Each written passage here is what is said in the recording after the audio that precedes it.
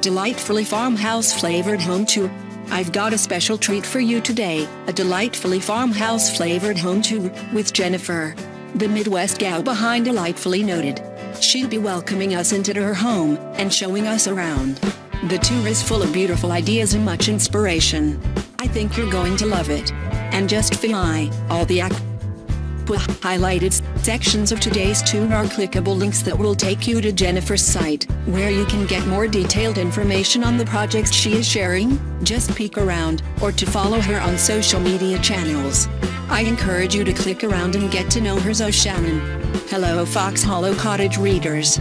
I'm Jennifer, the Midwest gal behind Delightfully Noted, the little corner of the world where I chronicle all of our DIY and decorating adventures. I currently reside in an 8-year-old colonial-style home in the Chicago suburbs with my hubby, 3-year-old son, and our stubborn but cute miniature dachshund, Briley.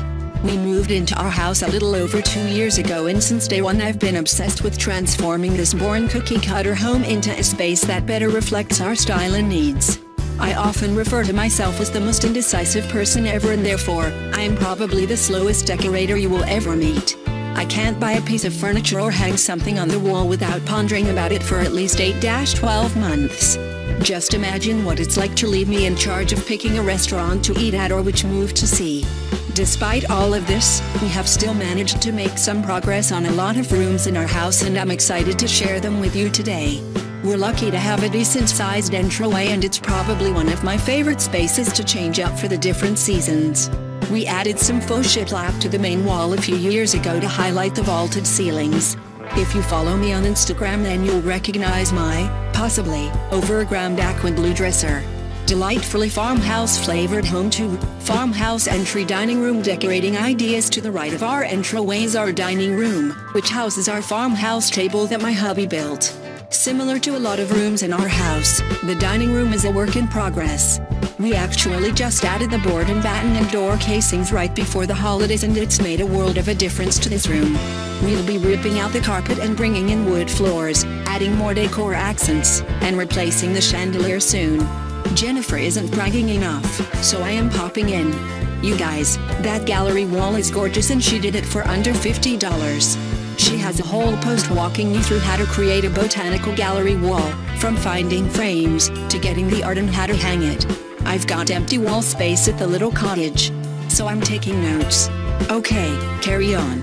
Two of my favorite makeovers to date happened at the back of our house, right off of our kitchen. First up is this boring hallway turned functional board and batten coat rack wall. We always leave and enter our house through our garage and this area now serves as our drop zone for coats and bags. It's been a real lifesaver. You can find the full tutorial over on my blog. My second favorite makeover was this unused office turned playroom for our kiddo. This was probably one of our biggest transformations to date. You wouldn't believe what this room looked like before. Decorating ideas Speaking of kids' rooms, our last stop on today's tour is our son's nursery. This is another space that is currently getting a fresh makeover. My little guy transitioned to a big boy bed over the holidays, so I'm in the middle of transforming this space into a toddler room with a few minor changes. Decorating children's rooms is where I feel most comfortable. I have a hard time figuring out what to do in kitchens and living rooms, but throw me in a kid's room, and my brain explodes with ideas. Well, that pretty much sums up today's tour. I hope you enjoyed it.